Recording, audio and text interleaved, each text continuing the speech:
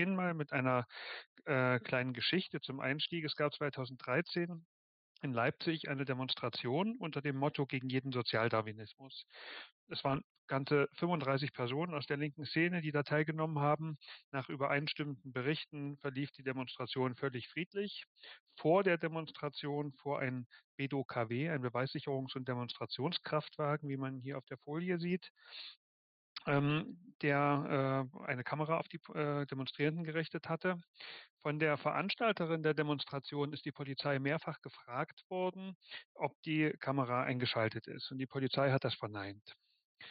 Äh, die Veranstalterin war aber nicht sicher und wollte das nochmal überprüfen lassen und gegebenenfalls feststellen lassen, dass, äh, wenn hier aufgezeichnet war, dass das nicht rechtmäßig ist und hat äh, gegen die Polizei also geklagt. Wieder hat die Polizei gesagt, dass gar keine Bilder angefertigt worden seien, die Kamera war nicht an. Zwei Jahre später allerdings sollte die Anmelderin der Demonstration wegen Ordnungswidrigkeiten belangt werden, weil sie bei dieser Demo gegen Auflagen verstoßen haben soll. Interessanterweise, und jetzt kommt's, waren der Anzeige Videobilder von eben jener Demonstration beigelegt. Bilder, die ja doch eigentlich gar nicht existieren sollten. Das Gericht hat dann letztendlich festgestellt, dass die Videoaufnahmen, die offensichtlich doch gemacht wurden, rechtswidrig waren. Ähm, denn so eine bloße Ordnungswidrigkeit rechtfertigt nicht so einen tiefgreifenden äh, Einschnitt in das verfassungsmäßig verbriefte Grundrecht der Versammlungsfreiheit. Dieser ganze Vorgang äh, dieser Geschichte reiht sich ein in eine Unmenge vergleichbarer Fälle, in denen sich nur meistens niemand gefunden hat, der es lohnend fand, die Mühen der gerichtlichen Prüfung auf sich zu nehmen. Es sind auch keinerlei Fälle bekannt, in denen Verantwortliche für so widerrechtliches Filmen mal sanktioniert worden werden, wären. In der Geschichte verdichten sich äh, verschiedenste Aspekte meines Themas. Es geht substanziell um polizeiliche Videoüberwachung von Demonstrationen, darum, wer welche Bilder anfertigen kann, verwendet, bearbeitet oder im Zweifel auch verschwinden lässt. Auf einer allgemeineren Ebene geht es um die politischen und demokratietheoretischen Implikationen und letztendlich um unser Grundverständnis von Polizei in der Überwachungsgesellschaft und im Prozess ihrer zunehmenden Technisierung. Soziologisch gesprochen geht es dabei um etwas, was es eigentlich gar nicht geben dürfte, nämlich das sogenannte soziologische Ermessen oder auch tatsächliche Ermessen.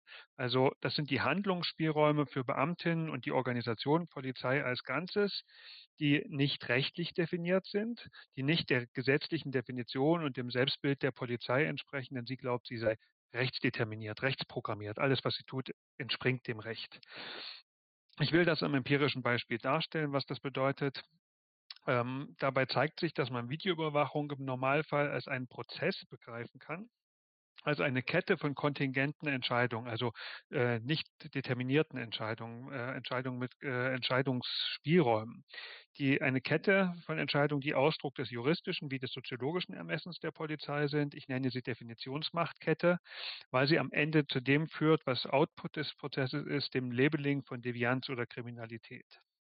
Der Prozess funktioniert so, dass mit jedem neuen Schritt die Kontingenzen, also die Nichtdeterminiertheiten, die Zufälligkeiten, die Entscheidungsspielräume des vorherigen Schrittes mehr oder weniger unsichtbar gemacht werden. Das hängt insbesondere damit zusammen, dass der Vorgang eben weitgehend ein technischer ist und Objektivationen erzeugt, also objektive Geltung beanspruchende Dinge. Ähm, und zwar mehr Objektivität, äh, als man diesem Prozess tatsächlich zugestehen sollte, wie es beispielsweise der Polizeibeamte aus einer Gruppendiskussion hier in diesem Zitat ähm, annimmt. Bevor ich den äh, Prozess im Einzelnen so ein bisschen analysiere, kurz was zur wenig überraschenden Gliederung ähm, und damit gleich zum ersten Punkt. Äh, der Gegenstand, Videoüberwachung von Demonstrationen. Ähm, aus polizeilicher Sicht sind äh, Videoaufnahmen vor allem ein Mittel zur Objektivierung von Tatvorwürfen. Das ist in den Versammlungsgesetzen geregelt und dort gibt es eigentlich recht hohe Schwellen für den Einsatz.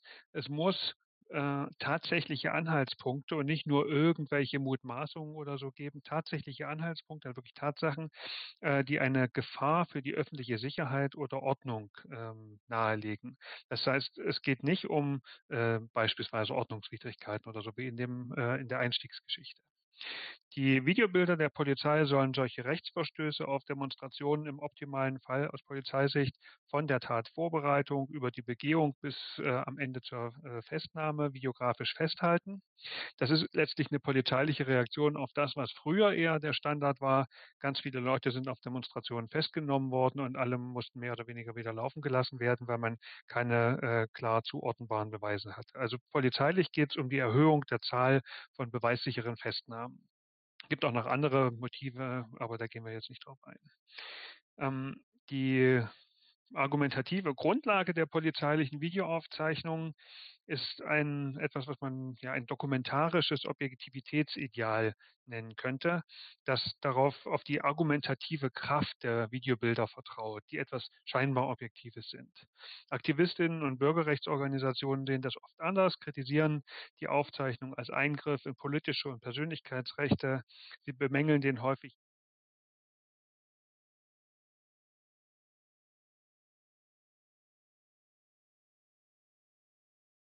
und insbesondere in der Rechtsprechung auch sehr hohe Eingriffsvoraussetzungen. Grundsätzlich werden die Bildaufnahmen oder auch das bloße Vorhandensein von Kameras verstanden vor, äh, vom, vor Gericht als ein Eingriff in das Recht auf informationelle Selbstbestimmung und in die Versammlungsfreiheit, die einen geschützten staatsfernen Raum darstellt.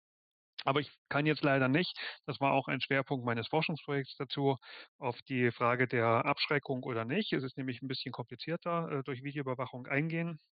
Heute bleiben wir mal bei dem Prozess. Und dazu noch ein bisschen was äh, Begriffliches. Ähm, ja, irgendwie hatte ich eine Folie übersprungen, aber um mal noch so einen kleinen Eindruck zu bekommen hier. Ähm, jetzt ein bisschen was Begriffliches.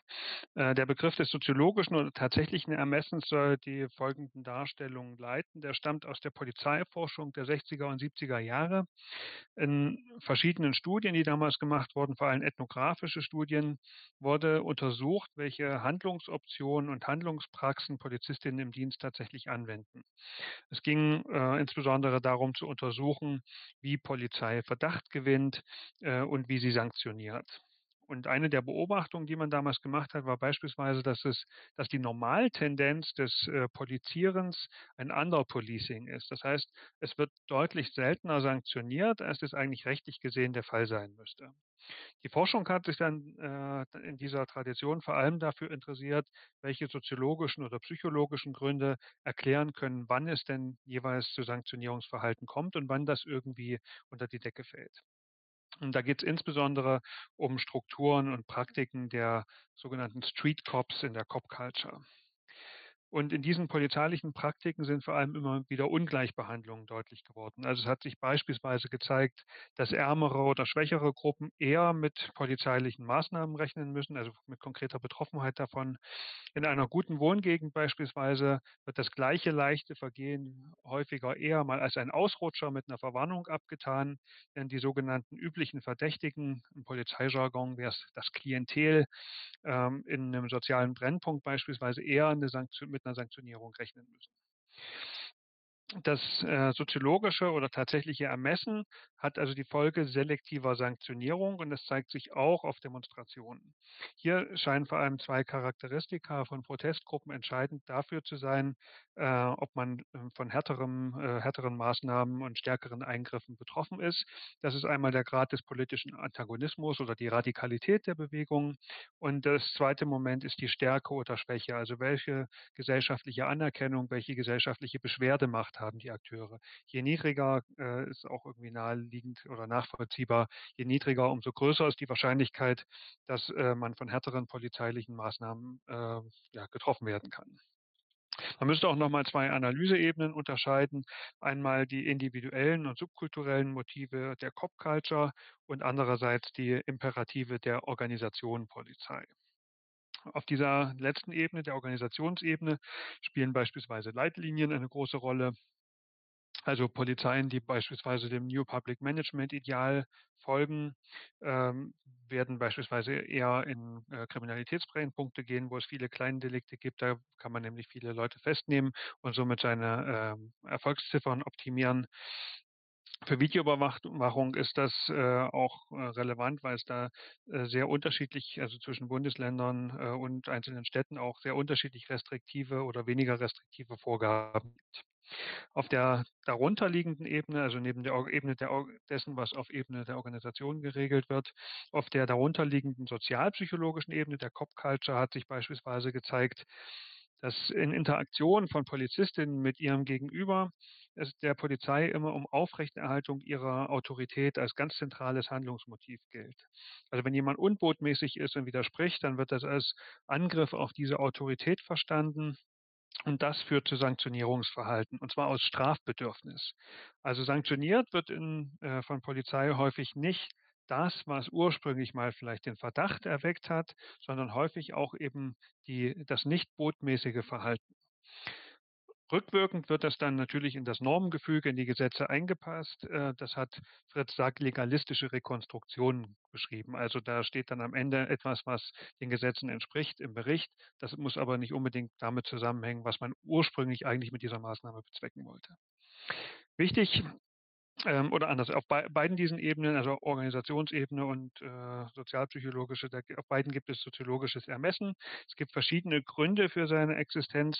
Dazu gehört ganz basal natürlich das äh, schlichtweg grundsätzlich das Legalitätsprinzip ähm, der Polizei, äh, dem Polizei unterliegt, also die strikte äh, Determinierung durch das Recht und dass alles, was sie tut, rechtlich begründet sein muss äh, und dass beispielsweise jedes Delikt, was ihr zur Kenntnis kommt, auch verfolgt werden muss, dass das schlichtweg nicht umgesetzt werden kann, aus einfach aus praktischen Gründen. Eine große Rolle spielt da aber eben auch die Cop-Culture, Männlichkeit und starke Kameradschaftsnormen, die die Subkultur der Street Cops prägen, die nicht immer deckungsgleich sind, diese Normen mit den äh, offiziellen Normen der Schauseite der Organisation.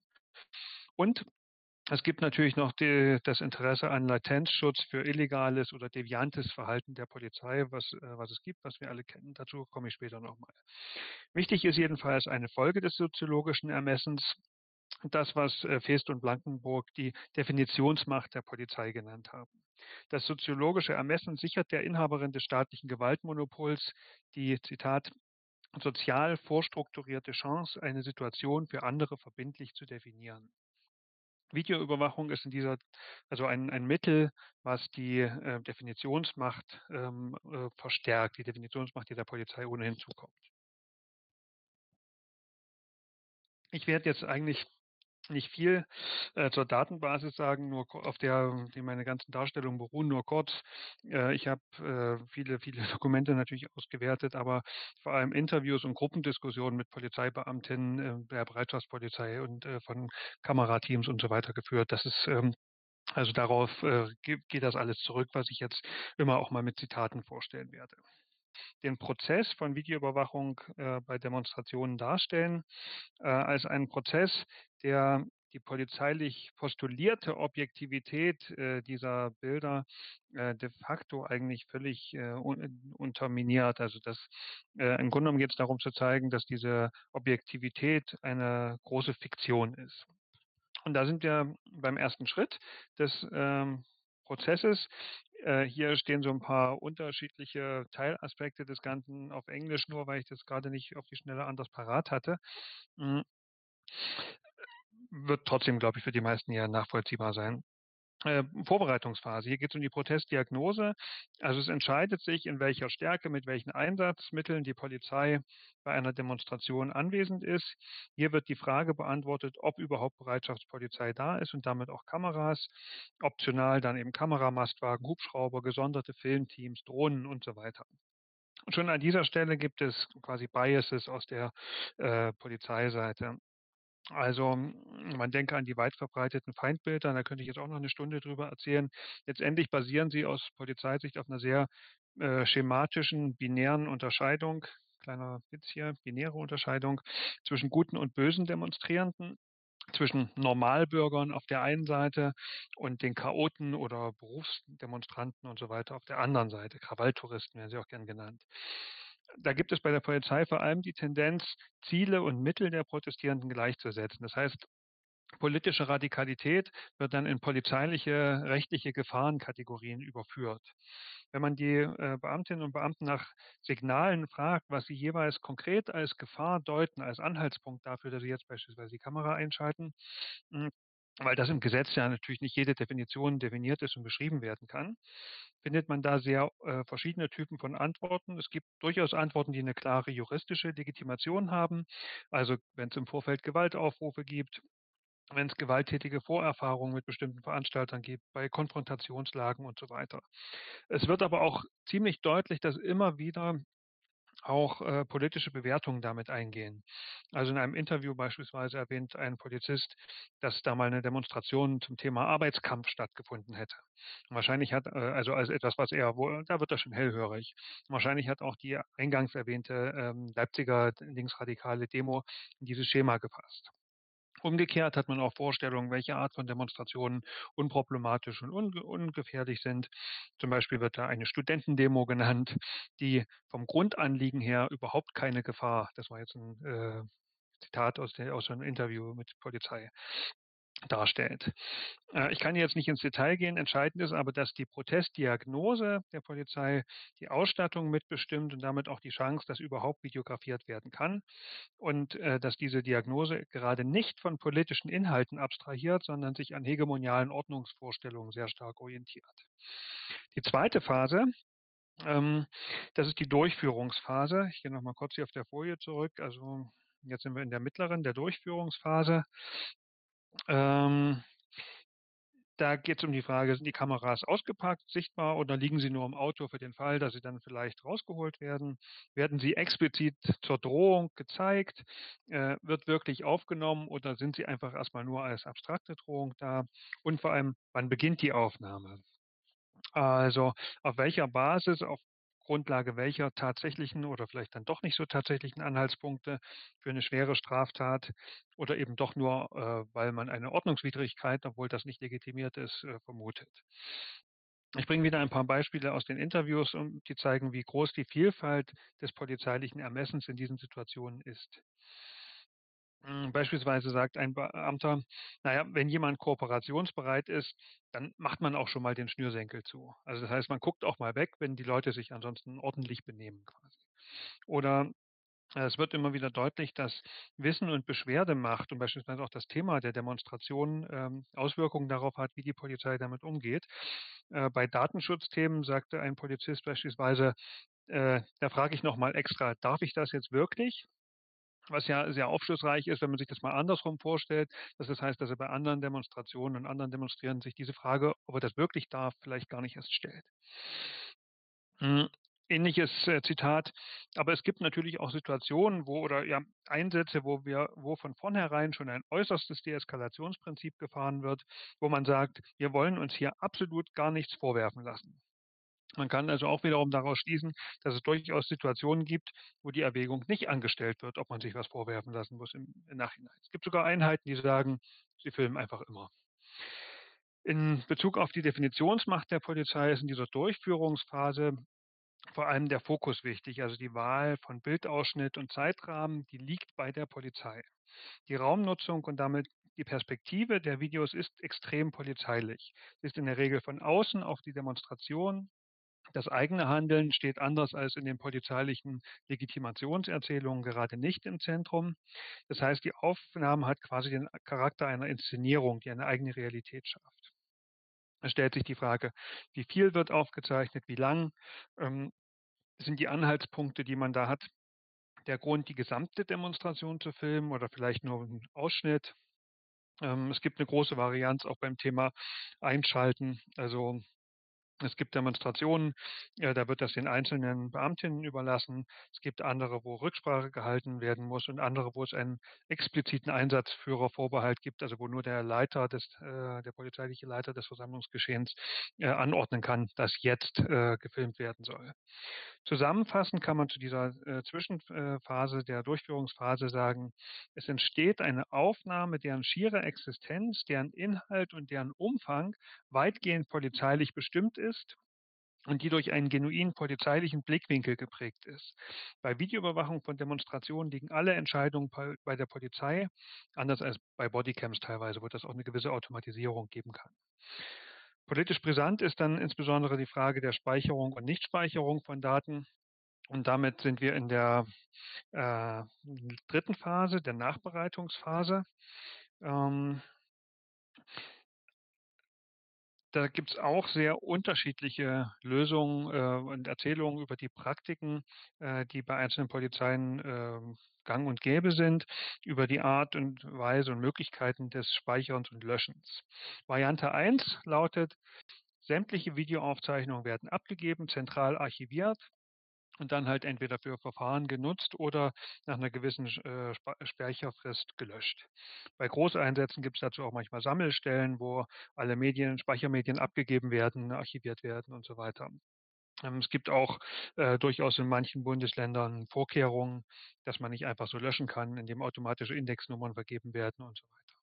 Die andere Variante ist aber die, dass die einzelnen Beamten direkt äh, live und vor Ort äh, im Einsatz oder später im Revier entscheiden können, dass sie, äh, was sie nicht verwerten können oder wollen, direkt löschen.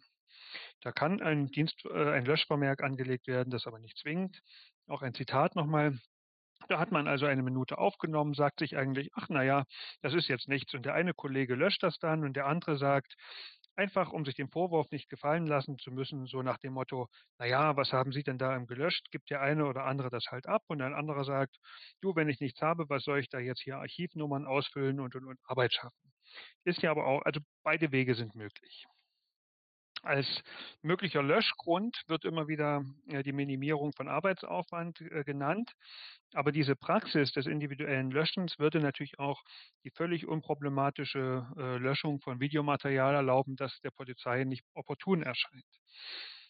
Aber bleiben wir mal bei Material, das sich als relevant erweist, das irgendwie gespeichert wird und eine Strafakte eingeht. Dann kommt der nächste Schritt, nämlich die Bearbeitung des Videomaterials. In den Strafakten findet man nämlich äh, manchmal das Rohmaterial, manchmal zusätzlich noch bearbeitetes und manchmal ausschließlich bearbeitetes Material. Äh, da werden relevante Szenen verlangsamt, rausgeschnitten, nebeneinander gestellt, Details werden herangezoomt oder das Video wird aufgehellt. Äh, es können auch bestimmte Aspekte durch Markierungen hervorgehoben werden. Das Ganze wird von einer schriftlichen Erläuterung begleitet, also sprich einer direkten Interpretation. Ähm also nochmal eine mündliche Einordnung dessen, was man sieht, nochmal eine Vereindeutigung. Es können auch zusätzliche Bilder, die man dann im Internet vielleicht noch gefunden haben, Eingang finden und so weiter. Hm. Zusammengefasst heißt das, dass dieses hochperspektivische Material an dieser Stelle nochmal eine starke Vereindeutigung erfährt. Die Polizei ist darauf aus, eine konsistente Geschichte ihrer Sicht auf die Dinge zu erzählen. Deren Ziel ist es, die Verurteilung zu erreichen, die Verurteilung des oder der Verdächtigen. Ich will jetzt damit nicht sagen, dass am Ende dieses Prozesses irgendwie eine Fälschung rauskommt oder ein Hirngespinst oder sowas ohne Realitätsbezug, aber es sollte bisher zumindest schon deutlich geworden sein, bevor das Gericht in seiner Verhandlung am Ende rekonstruiert, wie es wirklich war, äh, wurden schon eine Vielzahl von Entscheidungen getroffen, die die möglichen Sichtweisen auf das, auf das Geschehen stark eingeschränkt haben. Die explizite Fälschung oder das Verschwindenlassen von Videos, ähm, die beispielsweise die Konsistenz der angestrebten äh, Story nicht stützen, äh, sind da quasi nur das Extrembeispiel. Es gibt also eine faktisch große Variationsbreite in der, also was die Tiefe des Eingriffs in das Material angeht. Äh, das größte Extrem wäre dann die Verfälschung oder Unterschlagung von Material. Auch das ist Teil der empirischen Realität. Wir haben leider nur keine genaue Vorstellung davon, weil das ähm, ein Bereich der Polizeidevianz ist, der, wie wir wissen, in der Regel äh, schön unterm Radar läuft äh, und wo äh, kein Interesse besteht, genauere Einblicke zu gewähren.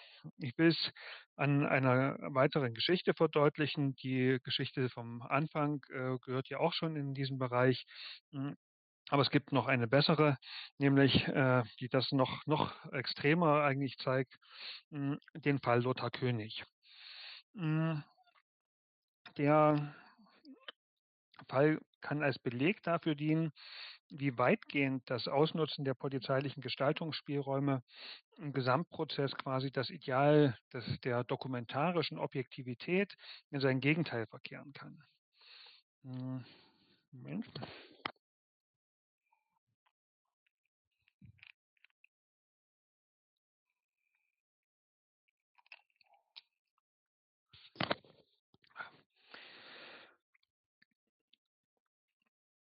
Lothar König, wir sehen ihn hier auf dem Bild. Ähm, jener Jugendpfarrer war von der Staatsanwaltschaft in Dresden angeklagt worden, bei Protesten gegen Rechtsextreme im Jahr 2011 aufwieglerisch agiert und zu Gewalt gegen die Polizei aufgerufen zu haben. Im Laufe des Prozesses sind dann über einen, durch einen Zufall im Grunde genommen nur große Mengen ungeschnittener Videos der Polizei aufgetaucht, die vorher nicht in den Akten waren und die den Aussagen und den zuvor präsentierten äh, geschnittenen Polizeivideos äh, vollständig widersprochen haben. Der Prozess ist daraufhin auch ausgesetzt und am Ende eingestellt worden. Es ist unklar, äh, wieso sich dieses Videomaterial nicht von Anfang an in der Prozessakte befunden hat. Äh, denn der Anwalt war, wie gesagt, nur zufällig darauf gestoßen. Der äh, Polizist, der diese äh, Videos geschnitten hatte und äh, das andere Material unterschlagen hatte, der Polizeiobermeister Mike U, wurde wegen des Vorwurfs der Manipulation von Videomaterial in diesem Fall und auch im Fall Tim H. Äh, selber äh, Gegenstand eines Strafverfahrens. Also man sieht, dass es sogar äh, bis zur direkten Manipulation kommen kann. Also man muss sich ja vorstellen, da gab es Videos, die hat, äh, also gerade im Fall Tim H., der hat es selber als Riot Porn bezeichnet, in denen Bilder produziert wurden mit brennenden Bildrändern und so weiter. Also richtig gehende äh, filmische Inszenierungen, die das Ziel hatten, quasi den, äh, die betreffenden Personen äh, an den Pranger zu stellen und am Ende zu verurteilen. Also das äh, auch so weit kann es gehen, Manipulation äh, und wahrscheinlich auch natürlich äh, kann es zu Löschungen kommen. Aber wann das genau passiert, das können wir im Grunde genommen äh, nicht wissen. Und damit äh, zu meinen Schlussfolgerungen. Achso, halt gleich. Ähm, als Fazit, also der Einsatz von Videoaufzeichnungen durch die Polizei auf Demonstrationen und die anschließende Nutzung oder Nichtnutzung des Materials kann man also als eine Kette von Entscheidungen verstehen, die dazu beitragen, polizeiliche Definitionsmacht herzustellen oder zu äh, stützen zumindest. Ohnehin hat die Polizei eine große Chance zur Durchsetzung ihrer Deutung als verbindliche. Also Polizeiberichte werden von den Medien in der Regel als besonders glaubwürdig aufgenommen. Erst 2018, glaube ich, war es, hat der äh, Deutsche Journalistenverband gesagt, dass auch Polizei, also die, die Maßgabe rausgegeben, dass auch Polizeimeldungen Quellen sind, die wie andere gegengecheckt werden müssen. Bis dahin wurden, galt das schlichtweg nicht. Äh, Polizeizeuginnen genießen vor Gericht ein hohes Vertrauen. Polizei und Staatsanwaltschaften sind eng ver äh, verquickt. Äh, auch eine der wichtigsten Ursachen für die geringen Verurteilungsquoten bei illegaler Polizeigewalt. Die Polizei ist ein anerkannter Primary Definer, also ein, jemand, der äh, legitim äh, Gegenstände definieren kann und der in der Glaubwürdigkeitshierarchie ganz weit oben steht. Dazu kommen noch weitere Asymmetrien im äh, Protestgeschehen. Dazu dieses Bild, ne, beispielsweise ähm, das Vermummungsverbot für Demonstrierende auf der einen Seite, während die Polizei selbst hochgradig uniformiert und äh, entindividualisiert auftritt. Im Videoüberwachungsprozess haben wir also etwas vor uns, was ich Definitionsmachtkette nenne. Sie beginnt mit der Entscheidung über die Bereithaltung von Kameras, geht über das Ob und das Wie des Einsatzes bis hin zur Entscheidung, ob die Daten gespeichert werden und im Fall der Nutzung über die Selektion bis hin zur Manipulation von Videomaterial. Bei jedem Schritt in dieser Kette besteht ein tatsächlicher großer Ermessensspielraum, teilweise für die einzelnen Beamtinnen, aber auch für die Organisation als solche. Nochmal kurz zusammengefasst, was sind die Gründe für die Existenz des, Soziolo des soziologischen Ermessens in diesem Feld, Videoüberwachung von Demonstrationen? Grundsätzlich gilt erstens, Polizeihandeln ist rechtlich unterdeterminiert. Nicht jeder Fall kann rechtlich geregelt werden. Die Situation des Protests ist zudem eine Konfliktsituation, in der die Polizei eben nicht ein neutraler Beobachter ist, sondern sie ist eine Konfliktpartei. Äh, auch mit Wissen über das Gegenüber, mit einer geteilten Konfliktgeschichte, teilweise sehr starken Feindbildern dass äh, die Demonstrierenden sehr häufig als Gegnerinnen und Gegner auch begriffen werden. Ähm, Zum Dritten kommt dazu, dass Autoritätswahrung der äh, Modus operandi polizeilicher Aktivität ist. Äh, Raphael Beer beschreibt das schön, die strukturelle Unfähigkeit, Schwäche zu zeigen, zurückzuweichen, Unsicherheit zuzulassen, Selbstkritik zu üben und so weiter. Das paart sich mit dem Willen, Straftäter zu überführen. Ähm, also eine Tendenz zur Vereindeutigung rührt aus dem Willen, Leute zu bestrafen. Das, äh, was diese beiden Zitate auch nochmal irgendwie deutlich machen sollen, auch aus diesen Gruppendiskussionen. Und fünftens, ein weiterer Grund, insbesondere für die Manipulation, ist selbstverständlich der Latenzschutz für Illegalität. Im Versammlungsgeschehen ist illegale Polizeigewalt ein großes Problem, aber auch ganz grundsätzlich und strukturell ist Illegalität Teil polizeilichen Handelns. Und dabei geht es häufig durchaus auch um das, was äh, Luhmann brauchbare Illegalität genannt hat. Die entsteht immer dann, wenn es eine widerspruchsfreie Normordnung gibt, also die Gesetze und Regelungen und so weiter der Polizei, die mit einer Umwelt kollidiert, die so eine bruchlose Umsetzung der Normen letztendlich nicht zulässt. Im Fall der Polizei beispielsweise wegen Ressourcenknappheit und so weiter. Ähm, Luhmann erwähnt aber auch äh, in seinem Text die Kosten, die so eine brauchbare Illegalität mit sich bringt. Man muss sie latent halten, man muss, dass sie eigentlich funktional für das System ist, muss man verbergen und dann als individuelle Abweichung bestenfalls personalisieren. Und dazu gibt es dann eben die Erzählung über den sogenannten Widerstandsbeamten und im Zweifelsfall muss man sie eben äh, ja, schützen und verstecken. Ich will mich jetzt nicht mehr aber diesen allgemeinen Mechanismen widmen, sondern ganz zum Schluss nochmal ein paar Spezifika des Dargestalten und die dort vorgenommenen, insbesondere durch Technik vorgenommenen Abstraktionen verdeutlichen. Abstraktion durch Technik. Ähm, wenn wir den Prozess vom Ende her durchdenken, sehen wir, welche Rolle die Sachtechnik, also ähm, Computer, Kameras, Bildbearbeitungssoftware und so weiter spielt, um das Beweismaterial am Ende als objektive Repräsentation des Geschehenen hervorzubringen. In jedem Schritt der Kette erfolgen Objektivierungen. Ähm, und diese Objektivierungen werden im Folgeschritt dann vorausgesetzt. Die Voraussetzung ist aber weitgehend unsichtbar gemacht. Also wenn bei der Staatsanwaltschaft beraten wird, was auf dem Bildausschnitt genau zu sehen ist, wird nicht nochmal beraten, wieso denn überhaupt gerade dieser Ausschnitt vorliegt und nicht ein anderer, wieso überhaupt eine Kamera an dieser Stelle war und nicht an einer anderen. Man könnte das als einen Fall von Black Boxing bezeichnen im Sinne von Bruno Latour. Ähm, also die Interpretation am Ende ist ein objektiviertes Resultat des Gesamtprozesses und äh, was dazwischen eigentlich passiert ist, verschwindet in dieser Blackbox. Zum Zweiten ist es eine Abstraktion vom Sozialen. Ähm, das ist etwas, was Bernd Berliner im Hinblick auf räumlich fokussierte Kriminalpolitik äh, analysiert hat. Also die Abstraktion des Rechts, der bürokratischen Vorgänge und dann durch die technologisch vermittelten Objektivierungen, die abstrahieren von dem gesellschaftlichen Konflikt, der dahinter steht. Und sie abstrahieren beispielsweise auch ein bisschen konkreter von dem Gesamtprozess der Demonstration. Alles wird auf den isolierten Rechtsbruch hin abstrahiert. Objektivität wird dabei simuliert und der Konstruktionscharakter bei der Hervorbringung solcher Evidenz wird systematisch ausgeblendet. In meinen Interviews sieht man das ganz, ist wirklich spannend. Ähm, also als Kontrast zwischen der Darstellung, wie man äh, faktisch vorgeht und den Legitimierungserzählungen. Die Legitimierungserzählungen gehen nämlich so, alles folgt ganz streng den gesetzlichen Vorgaben, wer nichts zu verbergen hat, dem führt auch keine Überwachung.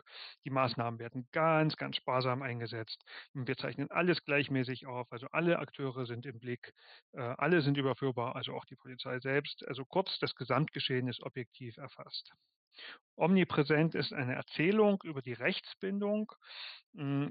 Beispielsweise auch, dass die Polizei sich ganz stark an alle ihre, ihre äh, Handlungsfreiheit einschränkenden Gerichtsurteile hält und so weiter.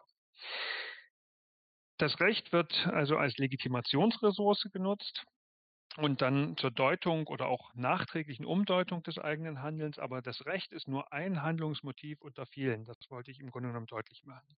Die Rechtsdeterminiertheit des Handelns der Polizei ist eine Fiktion. Das ist alles äh, besonders ähm, ja, relevant, weil man sich fragen kann, ähm, also die, die Rechtsdeterminiertheit, an der man äh, einerseits festhalten muss, weil die Polizei ja einen gesetzlichen Auftrag hat.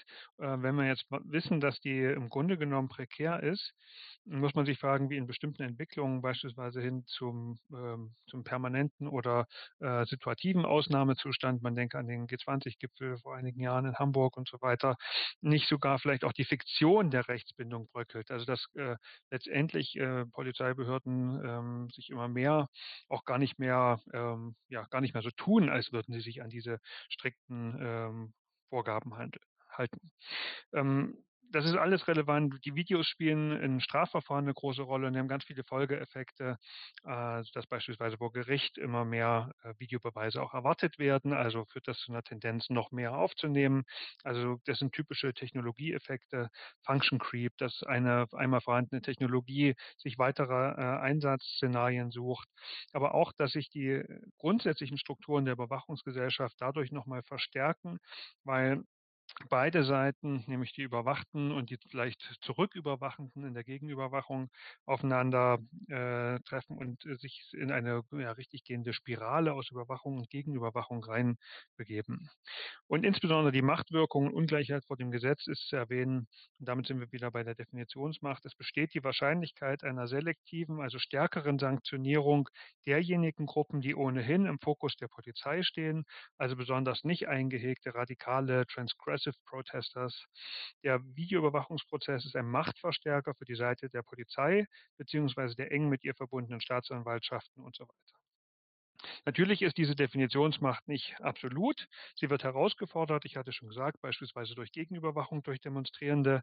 Ähm, da würde ich eigentlich auch ganz gerne noch drüber reden, aber das äh, ist die Zeit einfach nicht mehr da. Ähm, ich hatte ja schon angedeutet, dass äh, viele von den äh, Effekten, die sich da einstellen, von beiden Seiten nicht intendiert sind, aber letztendlich äh, in dem Zusammenspiel, in dem Antworten äh, auf Maßnahmen, technische Maßnahmen der anderen, äh, sich quasi eine Vertiefung der Überwachungsgesellschaft äh, unintendierter Art und Weise einstellt, weil man immer versucht, jemandem wieder zuvorzukommen. Ähm, das ist äh, angesichts der Tatsache, dass äh, Polizeireform immer mehr auf Technologieentwicklung sitzt, äh, durchaus auch bedrohlich, ähm, demokratietheoretisch bedrohlich, weil es äh, immer wieder mehr um Ausrüstung und Aufrüstung letztendlich geht. Da schließen sich viele, viele Folgefragen noch an. Beispielsweise müsste man noch mal genauer analysieren, an welcher Stelle, wer, wann, warum genau, wie das soziologische Ermessen ausschöpft, was man machen könnte, um das ein bisschen äh, in Grenzen zu halten, welche Risikokonstellationen für Overpolicing bestehen und so weiter. Fest steht jedenfalls, und das wollte ich zeigen, die Polizei nur oder auch nur primär vom Recht her zu denken, trägt äh, soziologisch überhaupt nicht. Das Recht bietet aber sehr wohl einen ja, Anknüpfungspunkt für zumindest immanente Kritik. Zum Abschluss noch dieses schöne Foto, was eigentlich gar nicht so richtig was mit dem Thema zu tun hat, was ich aber versuche in jeden Vortrag zum Thema Polizei einzubauen, weil es mir so gut gefällt. Hm, was aber vielleicht ein bisschen darstellt, äh, welches Bild die Polizei von sich selbst hat, was aber äh, nur ein ganz, ganz kleiner Ausschnitt aus der tatsächlichen Realität der Polizei ist. Und damit bin ich am Ende. Danke für die Aufmerksamkeit und freue mich über Fragen, Kommentare, Diskussionen. In den paar Minuten, die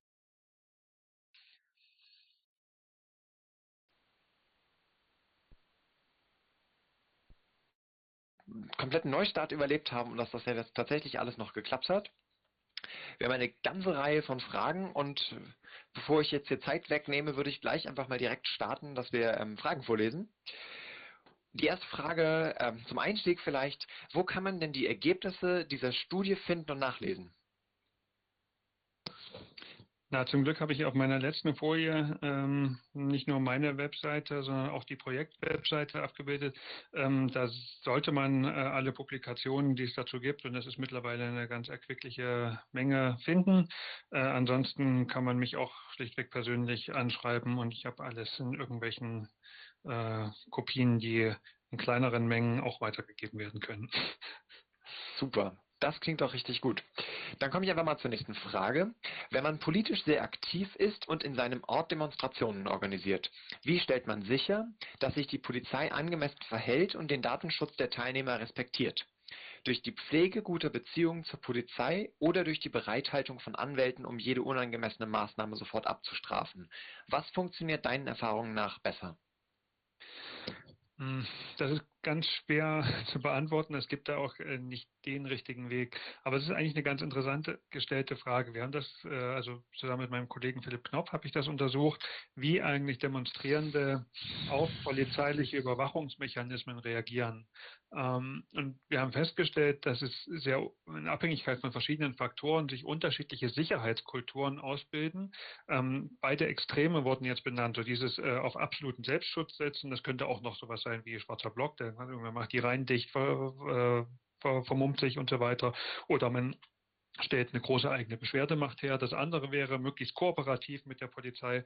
Beides sind Sicherheitskulturen, die unterschiedliche Erfahrungen widerspiegeln.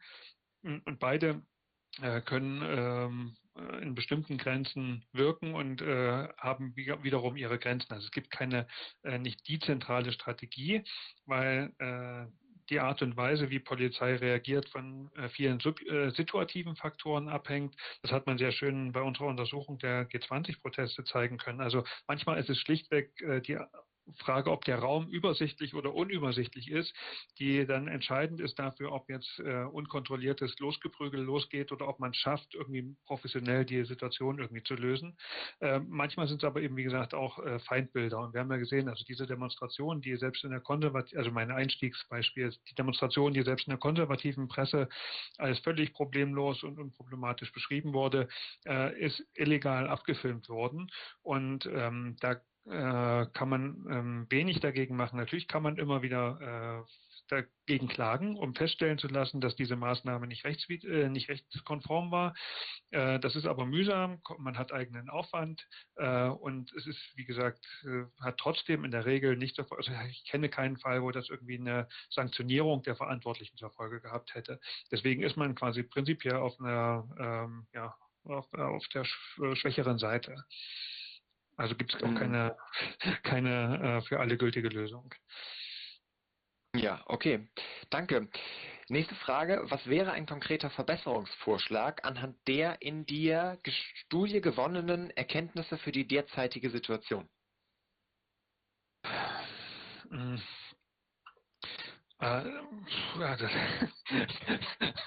Ein, ein Verbesserungsvorschlag, das ist gut.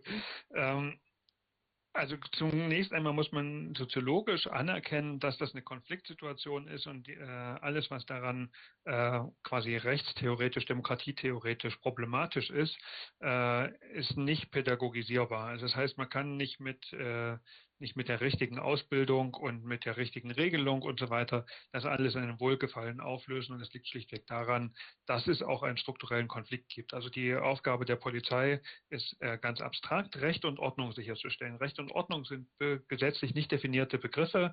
Die, äh, es gibt Konkretisierungen davon und so weiter, aber letztendlich impliziert das den Auftrag, den Status quo aufrechtzuerhalten. Protest in der Tendenz äh, hat eine Gegen gesetzliche Funktion, nämlich äh, den Status quo zu verändern. Und damit ist ein Konflikt äh, quasi erstmal strukturell gegeben. Das ist nochmal besonders stark, wenn man sich äh, ja so ja, anti-autoritären, linken, anti außerparlamentarischen Protest und so weiter vorstellt. Das ist maximale kulturelle Distanz auch äh, zu den sehr traditionellen in der Polizei dominierenden hegemonialen Ordnungsvorstellungen. Äh, auch da gibt es einen Grundkonflikt, bevor, also vor jeder konkreten Situation, eine gemeinsame Konfliktgeschichte und so weiter. All das schwingt damit. Trotzdem kann man äh, einiges tun, äh, um Sachen äh, abzuschwächen. Also man äh, weiß aus der Forschung, also es müsste viel mehr politische Bildung geben, beispielsweise. Viele, also die wenigsten Polizistinnen und Polizisten sind selber irgendwie politisch aktiv. Denen fehlt auch schlichtweg ein Verständnis für solchen Aktivismus. Ähm, es, man weiß auch, dass äh, viele, äh, was in der Ausbildung und im Studium für die Polizei geweckt werden kann an äh, ja, Grundverständnis und, und Zustimmung auch zu demokratischen äh, Normen und Werten äh, verschwindet in der polizeilichen Praxis wieder, wo es quasi in, in, ja, die harten, äh, ja, im harten Polizeialltag anders zugeht. Das heißt, man müsste da Mechanismen schaffen, man braucht äh, viel mehr Raum für Reflexion, man braucht viel mehr Kontrolle. Das ist ganz zentral äh, eine unabhängige Kontrolle von Polizei. Das, Polizei ist eine äh, ist die äh, Zuständige auch für die Kontrolle der eigenen äh, Rechtsverstöße. Das ist natürlich keine Situation, die für ihre demokratische Einhegung sorgt. Also man könnte an ganz vielen Stellen äh, was schrauben, aber trotzdem wird man die grundsätzlich konfliktäre Situation nicht in ein allgemeines Wohlgefallen auflösen können. Mhm, genau, ja. vielleicht lasse ich es dabei erstmal. Super, das äh, klingt alles sehr spannend. Ja, vielen Dank für diese ausführlichen Antworten. Ich mache einfach mal weiter. Sehen die PolizistInnen in der Videoüberwachung selbst eine objektive Maßnahme? Schreiben Sie der Maßnahme Objektivität zu? Wie beurteilen die PolizistInnen die Maßnahme? Ja, es ist wirklich interessant. Also äh, in der Darstellung äh, wird dem Objektivität zugeschrieben, obwohl sie, das muss man einschränkend sagen, offensichtlich auf einer abstrakteren Ebene wissen, dass das natürlich nicht objektiv ist. Und das merkt man spätestens dann, wenn Polizei über Gegenüberwachung spricht. Also äh, wenn äh, es darum geht, dass Demonstrierende die äh, Polizei filmen, dann wird gesagt, ja, die, äh, die filmen doch immer nur irgendwie einen Ausschnitt und da sieht man gar nicht, was davor passiert ist und äh, die schneiden doch da irgendwas zurecht, was ihnen passt und dann am Ende äh, bedrohen sie meine Familie und äh, verfolgen meine Kinder und so weiter. Das heißt, man weiß ganz genau, dass äh, jedes Video äh, eine perspektivische Darstellung ist, aber man hält an dem eigenen Objektivitätsideal fest und äh, vertritt das mit aller Macht. Aber wie gesagt, das resultiert auch aus der grundsätzlichen Situation von Polizei, dass äh, sie auch nicht zugeben darf, äh, dass nicht alles bei ihr quasi äh, vollkommen rechtsdeterminiert ist, weil das wäre dann strafbar. Also das ist auch einer der wichtigsten Gründe, äh, warum man in dem Bereich von illegaler Polizeigewalt nicht weiterkommt. Beispielsweise darf ein Beamter nicht, wenn Ihnen das Gewissen klagt, äh, zwei Tage später den Kollegen doch noch anzeigen, der eigentlich da jemanden zusammengeprügelt hat, weil dann macht sich der Beamte selber schon strafbar, weil diese, weil er hätte es sofort anzeigen müssen. Macht das aber nicht, weil er im Einsatz beispielsweise auch abhängig ist von seinen Kollegen. Es gibt da Mikroabhängigkeiten und so weiter. Das heißt, äh, es, die Organisation Polizei funktioniert so, als dürfte es keinerlei Abweichungen, keinerlei Spielräume, keinerlei normales, äh, die Zufälle des normalen Lebens geben. Und das führt die ganze Zeit dazu, dass, ähm, ja, äh, dass solche äh, Zufälligkeiten und so weiter systematisch ignoriert werden und negiert werden äh, und man so an diesen Objektivitätsfiktionen festhalten muss was ich jetzt, wie ich gerade lese, offensichtlich nicht mehr in das Internet, in das Allgemeine hineinrufe, sondern nur noch in einen kleinen Kreis. Ja, tatsächlich wird das aber alles aufgenommen. Und ich würde fast sagen, in dieser Situation, also hier weiß man sowieso bei dieser Konferenz immer nicht genau, ob der Stream gerade funktioniert, aber ich würde sagen, wir machen das einfach für die Nachwelt und dann ist das in, als schön produziertes Video mhm. landet das im Internet und dann können Sie sich alle angucken.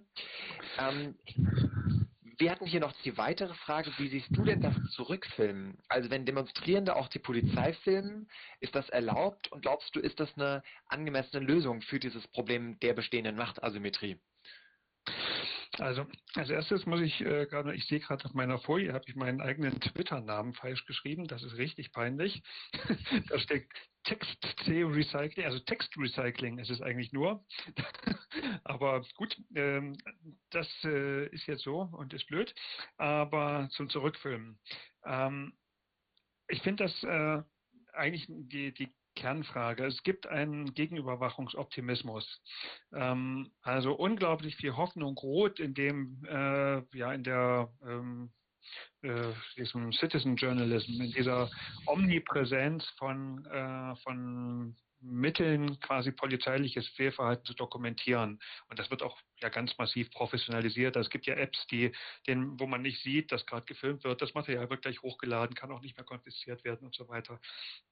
Ähm, diese ganzen Sachen, die der Ermächtigung gegen eine übermächtige Organisation, Polizei dienen, äh, haben ganz, ganz viele äh, nicht intendierte Nebenwirkungen, dass ich am Ende zu dem Schluss komme, dass sie äh, nicht ansatzweise in der Lage sind, äh, dieses Machtungleichgewicht auszugleichen, sondern dass sie äh, Effekte haben, die teilweise äh, gar nicht reflektiert werden. Ich kann es an ein paar Beispielen zeigen. Also ähm, man stellt Filme mit ähm, Polizeigewalt, illegaler Polizeigewalt ins Internet, will das skandalisieren und eine Studie hat herausgefunden, wenn man sich die, Kom die Kommentare darunter bei YouTube anschaut, stellt man fest, dass ein Großteil der Kommentare, also der größte Teil der Kommentare eher polizeifreundlich ist. Das sich dann sogar eine Vielzahl noch drunter findet, die äh, zu weiterer Gewalt auffordert. Ähm, also etwas, was äh, gar nicht Anliegen derjenigen war, die das reingestellt haben. Es ist auch so, dass die äh, Ubiquität von diesen Videos da auch mit dazu beiträgt, dass es ganz wenige nur sind, die es schaffen, jeweils die Aufmerksamkeitsschwelle zu überschreiten, die irgendwie äh, von Relevanz sind. Ähm, ich hatte es vorhin auch schon ähm, als Antwort auf die andere Frage ein bisschen angerissen, dass Sicherheitskulturen sich bilden äh, in Reaktion auf die Überwachung. Also den schwarzen Block nehmen wir das mal als Beispiel. Das ist eine Sicherheitskultur, die sich äh, als ähm, in Konfrontation mit einer, äh, mit einer massiv auftretenden Polizei bildet die maximalen Schutz sicherstellen soll durch größtmögliche Anonymisierung und Abschottung und so weiter.